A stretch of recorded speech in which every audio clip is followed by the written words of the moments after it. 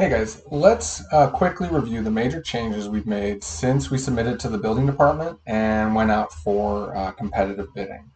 Uh, so the first and I think most major change is the fact that we're changing from the fiber cement to the stucco.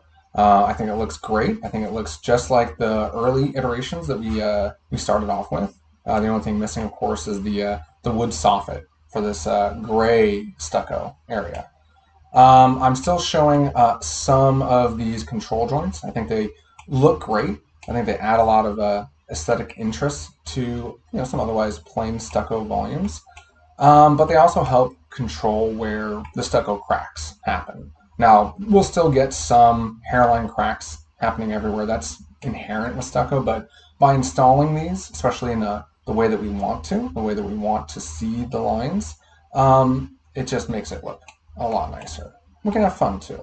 You know, it shouldn't be, you know, any added cost to install that line at an angle that continues the roof slope. I think that's kind of fun. Um, one of the another great change about change, you know, changing to stucco though, is now your one-hour rated walls. Uh, instead of having to have an exterior layer of drywall, that fire-rated drywall back here, um, we can now just have stucco over this, you know, the three coat stucco.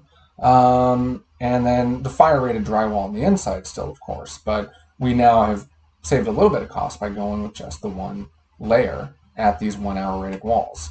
Uh, even though we have to do a, a one hour rated wall here now, uh, no big deal. Um, so another one of the changes that we had to make uh, was changing the curtain system um, along this length here uh, that was too close to the existing house uh, for the plan check. So um, I think we can still keep the curtain system, uh, you know, along the exterior of these large windows here at the stairs. I think that's still nice, and there's no uh, fire issue there.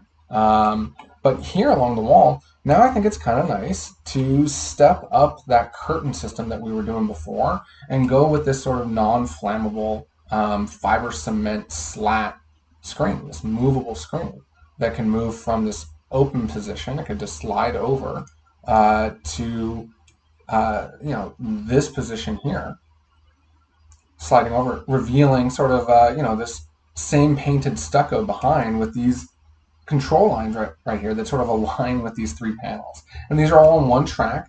They're all meant to uh, you know move one at a time that make them lighter, uh, make it a little more visually interesting. You know this pattern is I think really cool. Uh, but we could talk about um, other patterns it could be.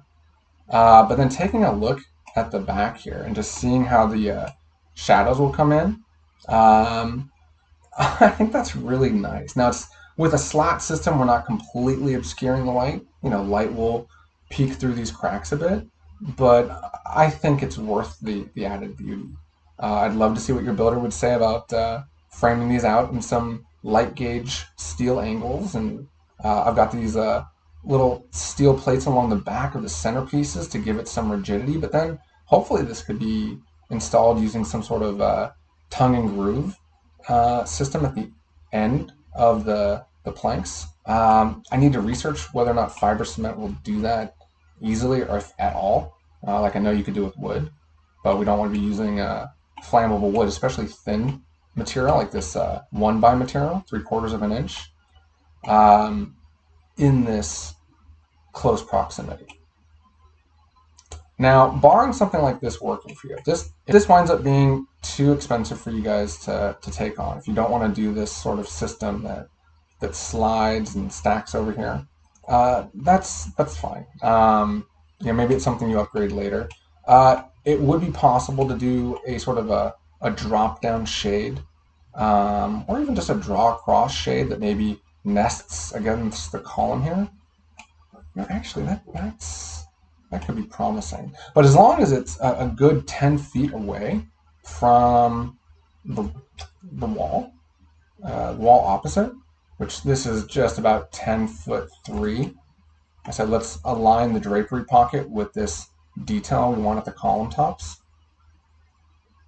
That could be okay. And I would say, you know, if you're going to go with a, a drop-down shade element, uh, you know, just stop it well short of the door. You know, leave there, leave room for people to walk by. Oh, that's that's another thing about this this other system here is that with them being three separate panels, you could easily move just one, slide one across so that people could get in and out without having to move the an entire single frame system. So I think that's one of the uh, the benefits of this. Um, if a shade comes down, you're likely going to want to have steel cables dropping down as well to keep that shade system from flapping in the wind, uh, billowing in the wind and blowing against uh, whoever is sitting right here. Um, some people find those those cables quite visually annoying, um, especially coming down in the middle of a circulation space. I would think that thing's going to get abused and beat up. Uh, I wouldn't necessarily think that's the best option. So I do hope that this uh, lightweight screen system uh, works out, and I'd be happy to talk to your builder about more of the thoughts I have here. Um, all right, let's take a look at the relocated kitchen. So I know that was a that was kind of a doozy, right? Having to to move the kitchen down and make it make sure it's big enough to host a Thanksgiving meal properly. Well, okay, so we have to upgrade from the cooktop alone to a cooktop and a uh, an oven below. Um, and we have to have a full-size fridge, or maybe the two side-by-sides. But here is, I think, a really nice-looking kitchen. Um, right downstairs where you're going to be hanging out most of the time. And I got to tell you, I, I think this is really beautiful. Um, I'm definitely inspired by the image that you shared with me. Uh, I hope it's within budget for you to afford the uh, designer, uh, you know, panel-ready column. Uh, you know 24 inch square column here for the refrigerator and the freezer uh, that is just clad in the same walnut system that we're using for uh, your storage closet down here. Um, I think it'd be really, really nice. And so, you know, we've got lots of storage up here um, above the, uh, the hood here. Uh, I like this black range. Uh, I, I think it's nice and innocuous. I certainly looked at several other options, um, you know, even including the um, upsized 30 inch wide unit, which I think you have room for, but I just didn't like any of them that much more aesthetically. They all still are the same, you know, clunky looking oven. Uh, there's a very nice look to do, which would be to do a cooktop um, and then a separate wall oven.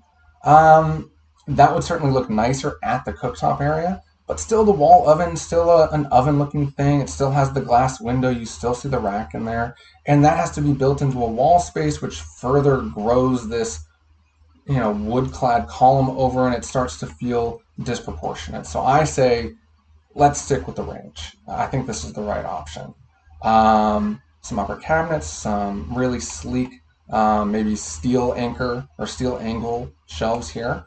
Um, you know, this is that wood sample that you guys found that you sent me. I mean, I would, you know, I don't know if you remember, but this this sort of image uh, uh, from priorities for global wood source. I don't know. You sent me this image. Uh, yeah, absolutely. Something like this would be great. Oh my goodness. Uh, I don't know uh, if you have that particular piece, if you know where it is. Uh, but whatever piece you find, we can sort of tweak the right way to cut the piece uh, using my model here. Um, you know, one of the great things is this closet now over here is full depth to the back wall, so there is no uh, water heater. Whoa, we are inside. There's no water heater door back here anymore. There's no light back here. Maybe we still want the light back here, actually. Uh, let me know what you think about that. I would say install a light here. You know, why not? Uh, but you know, there's at least no door anymore, so that's a much easier job of finishing that back there.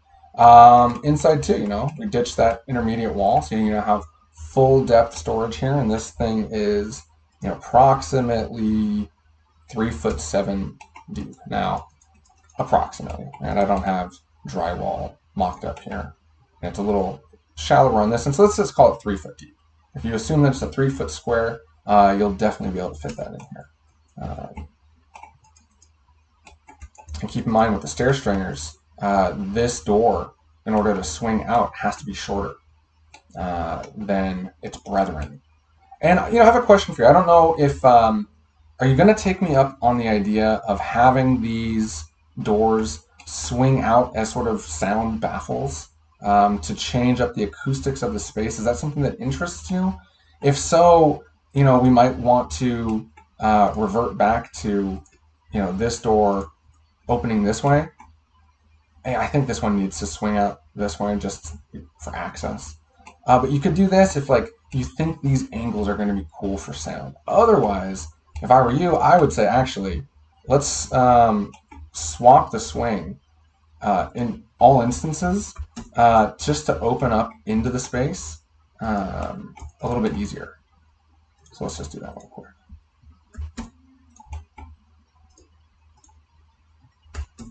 I mean, uh, that just seems so much cleaner and like look at that. Now even the refrigerator swings that way. I mean, that's this seems right to me. Uh, let me know what you think. Um, well, that's a lot of storage space. I hope. I hope that works for you. All right, so let's head upstairs to the closet where the uh, the kitchen used to be, but now it is a, uh, a wider closet area. So over here in this uh, narrower closet, uh, we'll have the water heater and some network devices. Uh, you can do a lot in here, uh, so long as the uh, this tank needs to have a louvered door, which is not quite locked up properly yet. It needs to be a, a two foot by three foot louver, uh, which you know isn't nothing, but we need to figure. I need to mock that up correctly. Oops, that's all the doors. all right. Uh, I think the elevation looks uh, just fine. So it's a bit of a wider closet, but you still have a lot of uh, room to come in here and land in this space. This is, you know, about seven feet wide. Uh, the closet could technically get wider still, uh, you know, but I like there being this little bit of a, a square space here. Um, it's not quite square, but it, gives a little bit more breathing room because you're already walking in directly into the side of this Murphy bed furniture piece. And that's not, oh, it's not terrible, um, but I would hate to choke it down further this way too. So I've got a uh, two and a half foot wide door here. I think this is two and a half. This looks like it's a little bit wider. That's still three feet. I need to shrink that down to the same two and a half. Uh, then these are two and a half each for five foot wide. So this I shrink down to two and a half. I'll send you a separate screenshot of that later. Uh, this then all moves with it. Um, and I think it's a pretty decent sized closet. So I'll send you, a, uh, you can definitely fit a lot in here. Uh, I'll send you a screenshot with the appropriate size and with the louver in the door for the water heaters uh, application. Uh, real quick, just to revisit on the, uh, the cooktop and range, there are certainly a lot of uh, really nice options. Like uh, Wolf certainly does some really, really, really beautiful pieces, but I think they only do gas or induction, and they're they're crazy expensive. I think this is a for less than a thousand bucks. I think this is a, a really good piece. All right, well, let's schedule a follow-up, um, or you can just drop me a line, let me know um, how you feel about these changes, and then I will coordinate the revisions with the team uh, and get you guys resubmitted uh, back into the City of San Jose's system ASAP. Um, I'll share this video with your builder too, so that he can get a sense for the, uh, the changes that have happened here as well. All right, guys. Talk to you later.